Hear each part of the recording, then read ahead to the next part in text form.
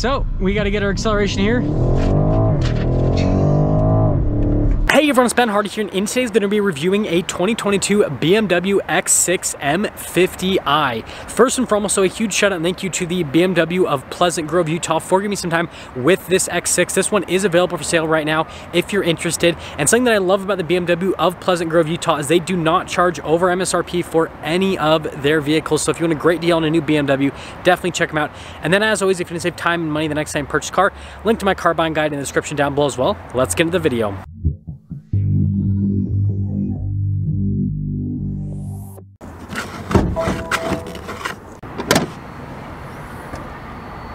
So under the hood, we have a twin turbo 4.4 liter V8 that goes through an eight speed automatic transmission. It is good for 523 horsepower and then 553 pound feet of torque, which gives this a zero to 60 time of just 3.8 seconds, which is crazy. Now something that I love is we've got the carbon fiber print with the M Performance logo, but notice how we have eight little things on either side to represent that this has eight cylinders because it's a V8. Anyways, there you go. Now let's go over the front end of this X6. First off, I absolutely love the color on this X6. It just looks super crazy and it just works with all of the contrast. Anyways, you guys can see here we've got the prominent lines on the hood, BMW logo front and center, and then we have BMW's LED laser headlamps, which look super distinctive with the daytime running lights and Notice little blue pieces there inside of the lights. And of course it says BMW laser there on the side. We've got BMW's signature kidney grill here, which has been all blacked out. Notice we've got a front camera there. Parking sensors here on the front. We also have fog lights. And then you guys can see just all of the venting. Looks crazy. And yeah, really good looking car. So coming around the side here, we've got 275 millimeter tires wrapped around 22 inch wheels in the front and then 315 millimeter tires wrapped around 22 inch wheels there in the back. And then if we go over the design of the wheel, well, it's all blacked out first and foremost, tons of spokes. We've got a little M logo right there. And notice we've got the big red brake caliper with more M colors on it. Looks really cool. I love how the fender flare has been body painted. And then look at that little accent piece right there. And notice that body line continues all along the side. And if we take a few steps back, notice all the trim around the windows has been blacked out. And we have that signature X6 appearance here on the side because it kind of slopes down there in the rear. So here is the key fob for the X6 and you guys can see, well, it's BMW's normal key fob. So you got the unlock, the lock function, which has the BMW logo and then the opening here for the hatch. Press that and then it'll pop right open. Notice that we do have a cargo cover already built in. It says X6 and look at that, we got all of our uh, floor mats back here. But notice here with the metallic plaques on either side, which I think look great. And then if we push these back, you guys can see here with the spare tire underneath. And yeah, plenty of storage space down the back. When you're done, you can lock it or you can press this and that'll just lower it down. There you go. Now finishing things up with the rear, you guys can see we have our M50i badge here and our X6 badge. I love kind of like the finish on the badges. And then we've got our super aggressive exhaust tip covers and exhaust tips themselves. Let me stick the camera in here so you guys can see the exhaust tips. There we go, hopefully you can kind of see something there. There's two on either side. Parking sensors here on the bottom. And I love how this is body painted with the diffuser. I think that looks pretty cool. But anyways, there is the rear end. Now popping inside, this is where things get real fancy. So first off, you can see we've got our sunshade here for the back passengers.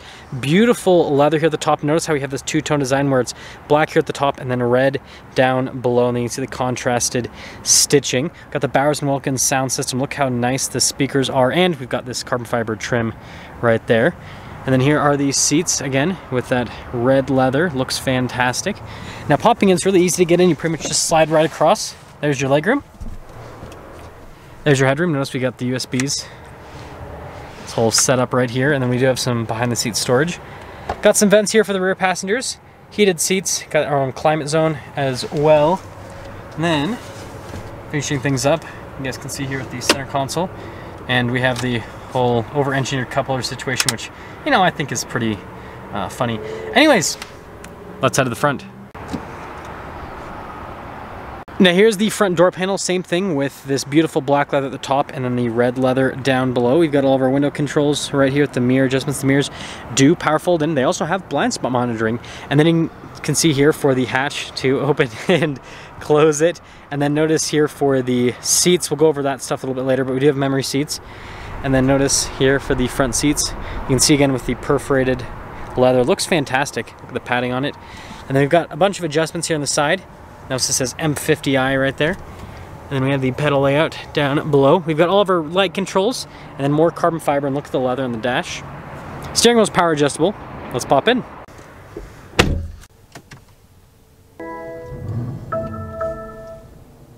So here is the steering wheel for the X6. You guys can see really nice leather all around, including the airbag cover. We've got our heated steering wheel button here on the steering wheel, which is really nice.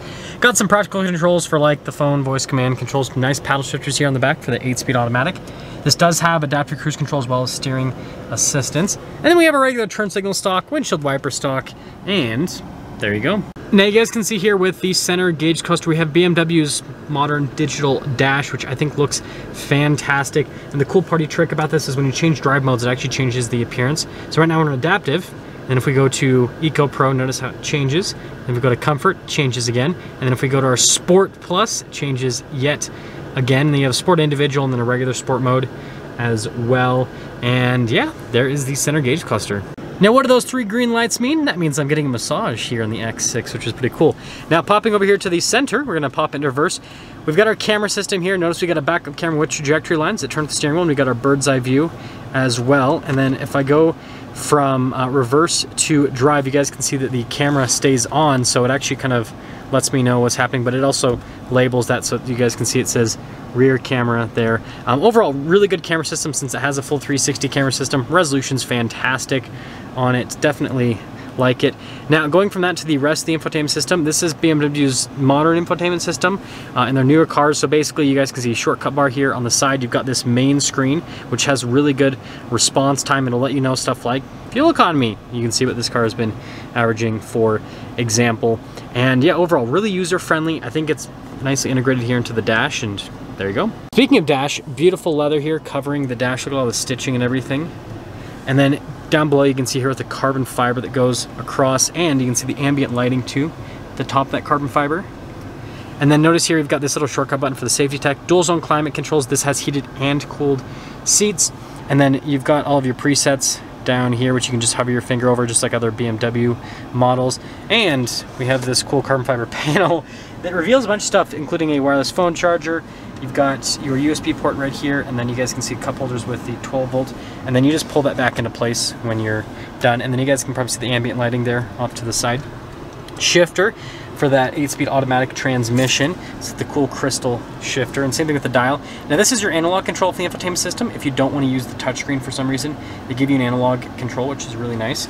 This actually has hill descent control. You got this for the parking brake, auto hold, and then these are your drive modes. Notice how they each have individual buttons. We got our engine stop start, and then you can see here with the stability control button, that's for the camera system, parking sensors, and then auto stop start.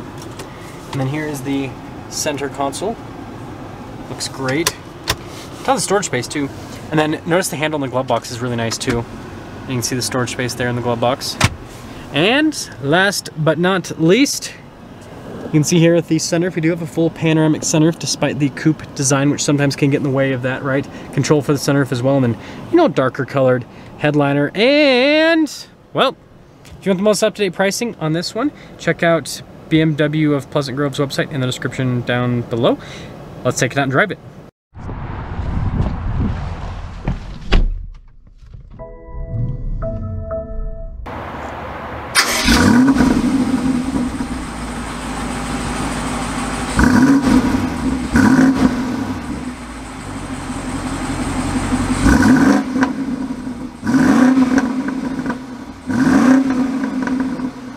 Let's talk about visibility before we set off. Here's your visibility of the hood. Hope you guys can now see the heads-up display. Both the mirrors, which do blind spot monitoring. And then throughout the rest of the rear.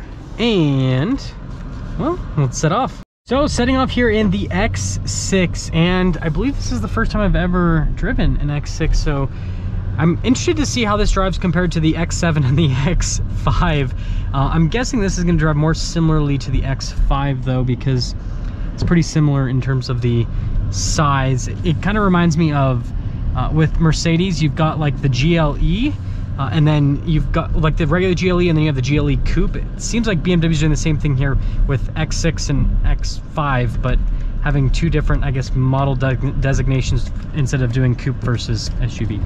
Anyways, setting off, that V8 sounds so cool. I love BMW's 4.4 liter V8 and you know maybe that's why Range Rover is using it now is because it's such a fun engine. It sounds great. It's so torquey too. I will say this is definitely a nice experience air conditioned seat, getting a massage, and these seats are very comfortable.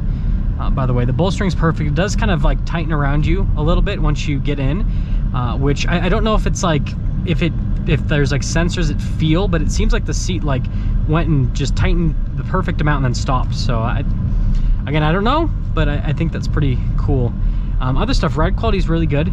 Uh, you can tell though this has definitely been tuned towards the sportier side of things in terms of an SUV uh, in terms of the ride because uh, it seems like with the shock, um, what I'm kind of noticing is you have this initial compression point that stays pretty stiff and then once you get past that, then it kind of goes in more and like this will show you guys that right here. And so what that does is that's going to give this better handling, um, but you might feel things a little bit more when you go over them. But it, it's not like, I, I mean, you know, it, it's very comfortable. It's, it's not uncomfortable by any means. Okay, so we got to get our acceleration here. wow.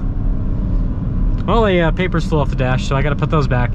But man, is that quick. Let's see going over the bump in sport mode. Yeah, it definitely feels stiffer in the sport mode. It's a cool thing when you have adjustable suspension is there's actually a difference between the drive modes sounds so good though, I will say that. I'm actually gonna go back to sport mode. I don't hear the downshifts. Yeah, it's a clean sound. Listen to that. I'll do that one more time. Just for uh, educational purposes. yeah, it's, it's, a, it's a great sounding powertrain. So just hold down the plus pedal, that'll pop back into automatic, pop back into comfort. Um, the thing I love about BMW is it's so easy to change like from automatic to manual, the drive modes, all that. Like it's so straightforward, especially compared to some of the competition where you got crazy dials and everything you have to twist through. I really like how user-friendly this is. But yeah, let's sum things up here with the X6. Uh, so first off, styling, um, you know, for me personally, I prefer the styling of the X5 because I just like SUV styling. I'm, I'm not a huge fan of the coupe SUVs personally. But if you like coupe SUV styling, that's what this has. Um, I, I, guess maybe like there's part of me that's like obsessed with practicality and like since this has like a slightly shorter roof line in the back it's not as practical as like a regular SUV so I'm like regular SUV looks better because it's more practical that's probably what it is honestly um, but it drives great uh, this M50i is definitely a sweet spot and that's kind of what I found here with the uh, BMWs is it seems like the uh, you know M uh, M Sport cars, right? Not the full-on M cars is the route to go because you still get a very nice, luxurious, comfortable experience and you still get tons of performance too. Whereas with like a full-on M car, you give up a little bit of luxury for the performance, but this is more than enough. Like this is such a blast to drive and I'm getting a massage at the same time. Like what more could you ask for? This is such a solid uh, offering. So let me know what you guys think about the X6. I think it's I think it's awesome in terms of coupe SUVs. That's because something's up for our video on this 2022 BMW X6 M50i. Again, a huge shout out and thank you to the BMW of Pleasant Grove, Utah for giving me some time with this X6. Check out the M in the description down below. I'll see you guys.